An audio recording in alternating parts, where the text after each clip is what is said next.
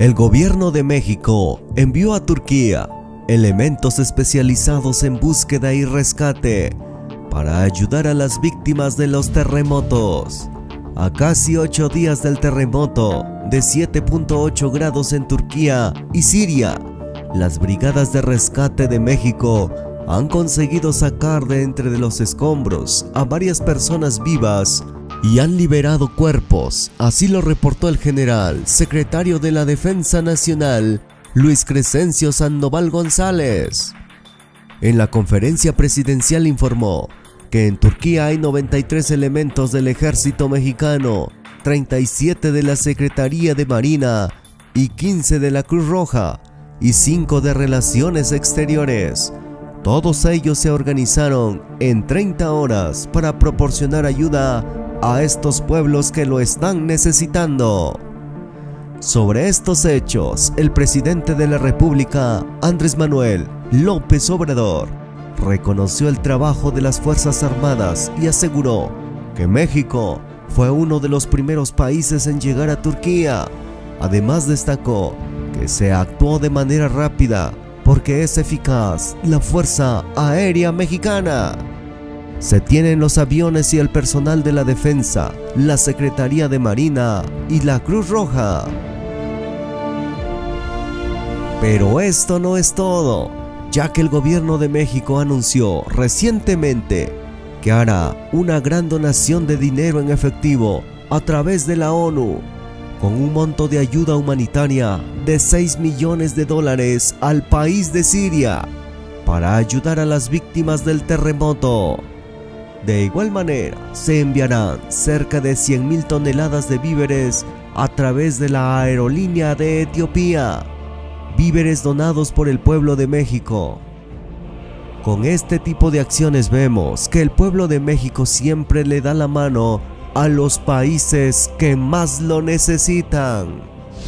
Por favor, eh, sobre eh, la ayuda, la Fuerza de Ayuda Humanitaria de México en Turquía la primera lámina, la, conformación de la fuerza, recordarla nada más rápidamente, 93 elementos de la Secretaría de la Defensa, 37 de la Secretaría de Marina, 15 de la Cruz Roja y 5 de Relaciones Exteriores que fueron trasladados con una aeronave de la Fuerza Aérea Mexicana y 12 elementos de tripulación.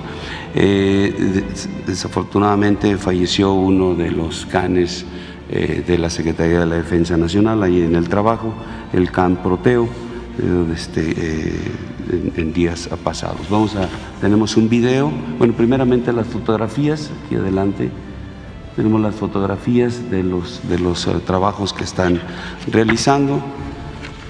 Y un video este, en donde se da la información de todas las actividades, la que se desarrolló en en la última, el último día y un acumulado de lo que lleva de trabajo la, fuerza.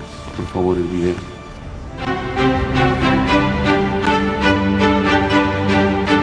En esta jornada de trabajo hemos obtenido los siguientes resultados. Cuatro personas fallecidas, 14 metros cúbicos de escombro removido, 24 consultas médicas, y 5.5 toneladas de artículos diversos recibidos en un centro de acopio. Con estas cifras tenemos un acumulado a la fecha de 4 personas con vida rescatadas, 33 cuerpos de personas fallecidas recuperados, 96 consultas médicas, 55 metros cúbicos de escombro removido y 8.5 toneladas de artículos diversos recibidos en centros de acopio. Con estas actividades, el agrupamiento de ayuda humanitaria del Gobierno de México continúa trabajando en beneficio de la población afectada por el terremoto registrado en este país, demostrando la solidaridad de nuestro gran país hacia esta población que ha tenido este desastre. Les seguiremos informando.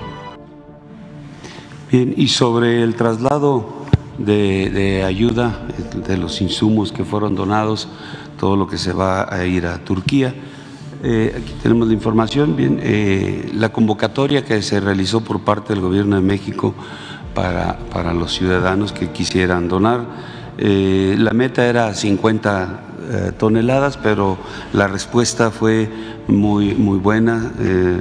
Se, reunieron más de, esa cantidad que se había estimado.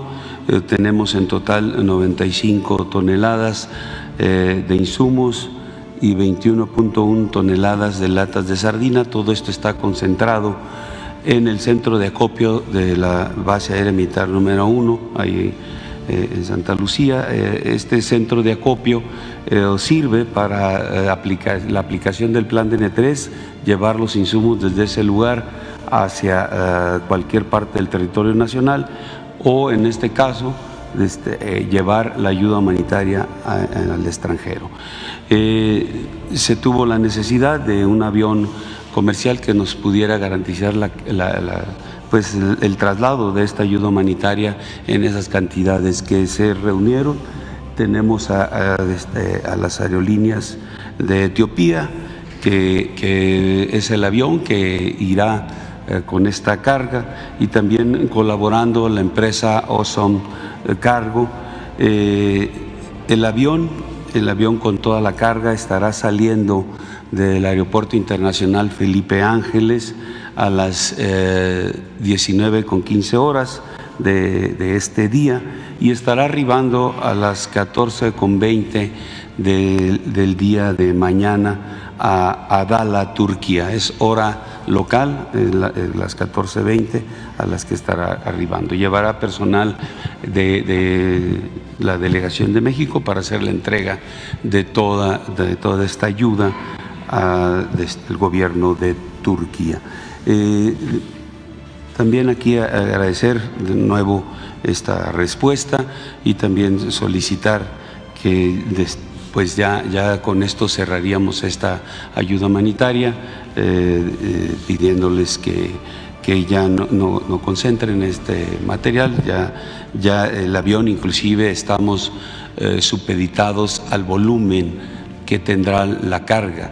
Eh, puede llevar las 100 toneladas el avión, pero el volumen que tenga eh, este, el material, eh, la empresa va a ir estableciendo hasta que un momento ya va a ser pues, el límite de la carga que tendrá que llevar. Pero estimamos no tenemos cosas tan voluminosas, estimamos que sí pueden llevarse las 100 cargas, el avión tiene las 100 toneladas.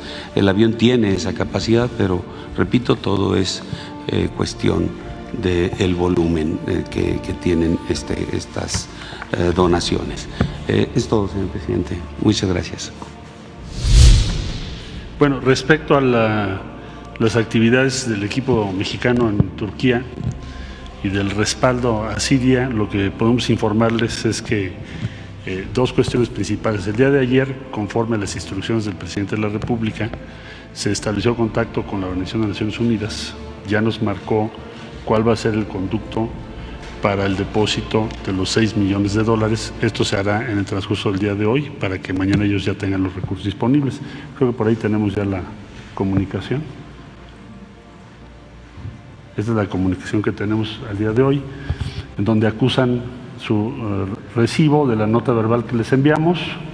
Se va a hacer a través del Syria Cross Border Humanitarian Fund, que es el que está organizado por Naciones Unidas. Y se va a hacer el movimiento ya esta cuenta, que es la que nos indicó la Organización de las Naciones Unidas. Esto lo recibimos hoy a primera hora. Entonces, eh, durante el día vamos a concretar esto. Y por el otro lado, a partir del día de mañana, ya se nos notificó por parte del gobierno turco que se empezarán a retirar los equipos de rescate, porque van a empezar sus labores ya de demolición a gran escala. Entonces ya mañana les informaremos cuándo es exactamente el retorno del equipo mexicano de rescate que fue a Turquía. Y eso sería cuánto, señor presidente.